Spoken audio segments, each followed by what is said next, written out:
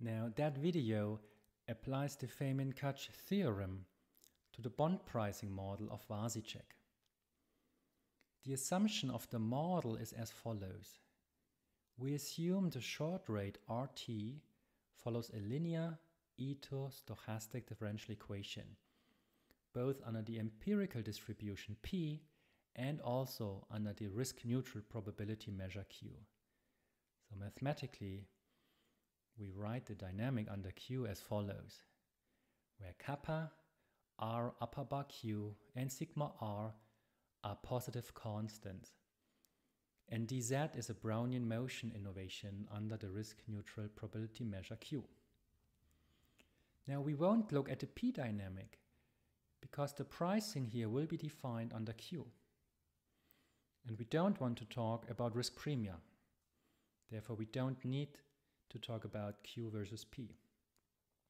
So in fact, Vasicek 1977 derived the price of a default-free bond with maturity tau given the above assumption. And he showed the solution looks as follows, where AQ tau and BQ tau are deterministic functions of the short rate parameters under Q. I now apply the Feynman-Kac theorem to derive the solution. So applying Feynman-Kac's formula to the Vasicek bond valuation problem gives us the following. The conditional expectation under Q as of time t of the exponent of minus the integrated short rate is what we define to be a function u that depends on the time today, it depends on r, and it depends on time to maturity, cap t. Now applying Feynman-Kac, we know that the solution to the conditional expectation, which is u, has to solve the following partial differential equation.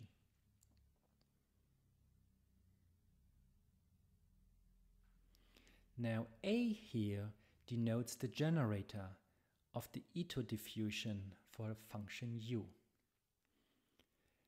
Now solving that PDE works with the guess and verify method. It means we make an educated guess and then we show the guess is correct. If your guess is wrong, then you will see that in the PDE. Because look at the PDE, the left hand side has to equal the right hand side. And it only equals if you use the right guess. So, now we guess that the conditional expectation as of time t for maturity capital T takes an exponential affine shape, meaning we guess the solution is e to the minus aq, which is a function of time to maturity, cap t minus small t, minus bq, which also is a function of time to maturity, times the short rate, rt.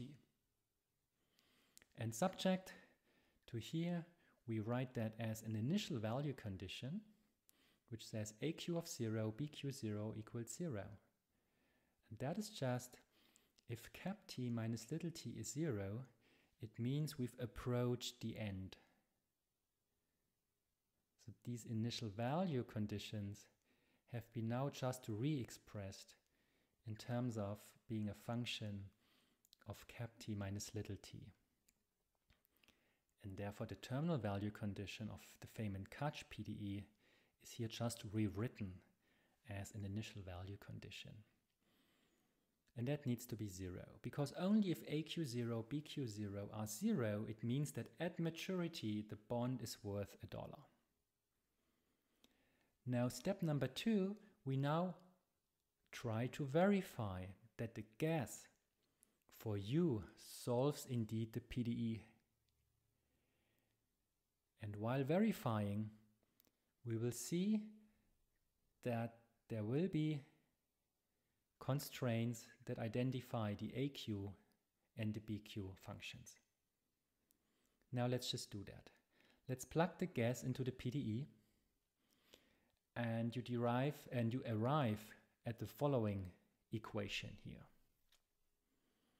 Note for shorthand notation, I just write the first derivative of aq with regard to t. So I leave away or I leave out that aq and bq are functions of t minus t. Okay. Now, since the left-hand side has to equal the right-hand side, yeah, that's the point of an equation. Left equals right. We know that whatever stands on the left-hand side, here it's just 1 times rt, needs to equal to the right-hand side.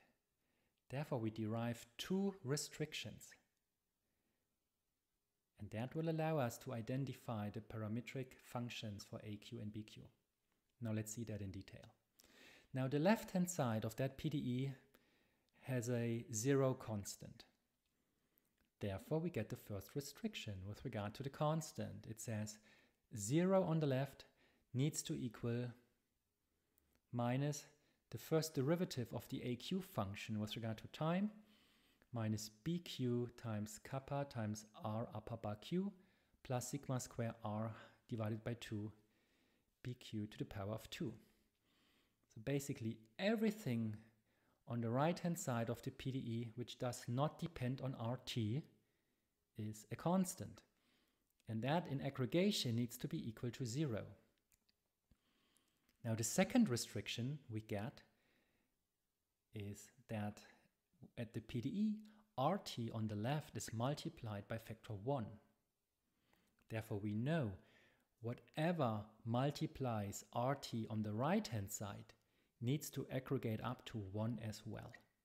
That gives us the second restriction that 1 has to equal minus the first derivative of the BQ function with regard to t plus bq times kappa. Now, that second equation here, if you look at that, is a linear ordinary differential equation.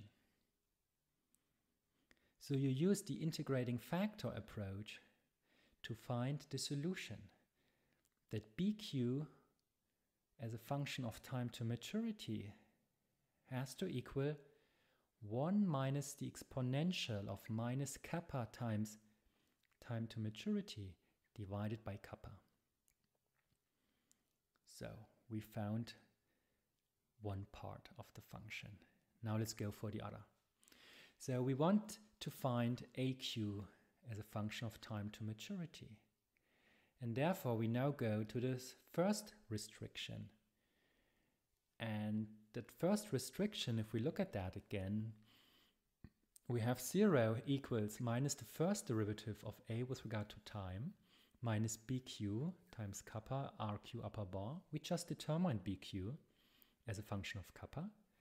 And then plus sigma square r over 2 times bq squared. Again, bq is known.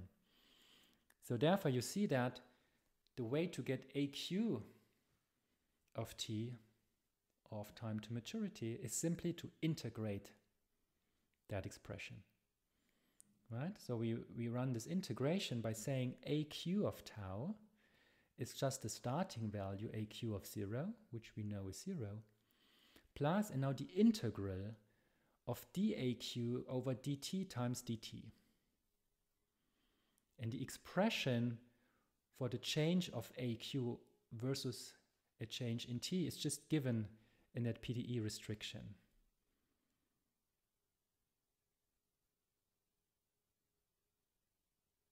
And it coincides just with the bq function times constant plus bq squared times constant. Plug that into the integration and run the integration yourself.